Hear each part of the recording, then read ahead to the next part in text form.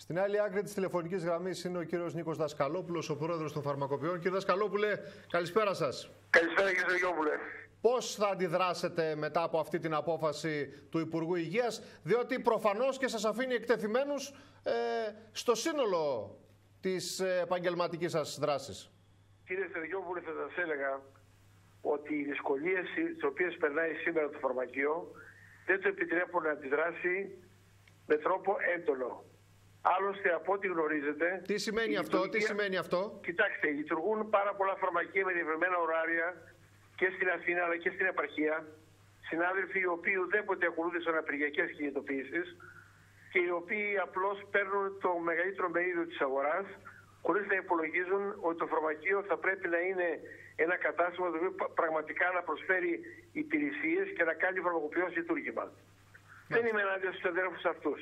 Απλώς θα έλεγα ότι δημιουργούν ένα περιβάλλον μέσα στο οποίο δεν μπορούμε να απεργήσουμε και να κάνουμε και να αντιδράσουμε όπως αντιδρούσαμε στο παρελθόν.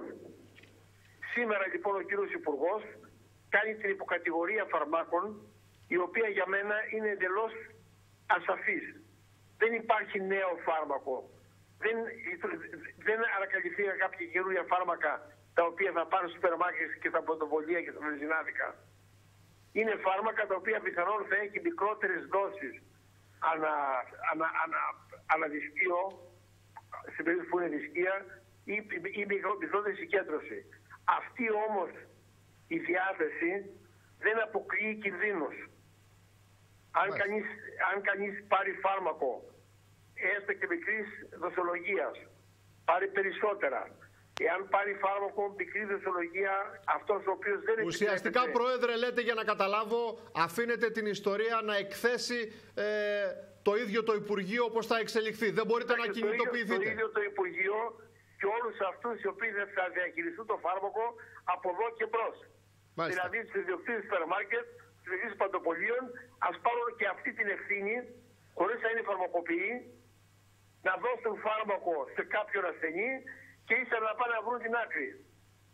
Είστε απολύτως κατανοητός, κύριε Πρόεδρε. Οι ασθενείς θα πρέπει να μην κοιτήσουν εντός εισαγωγικών σε αυτές τις προθέσεις του Υπουργείου να παραδώσει την ίδια του φαρμακείου στα μεγάλα συμφέροντα.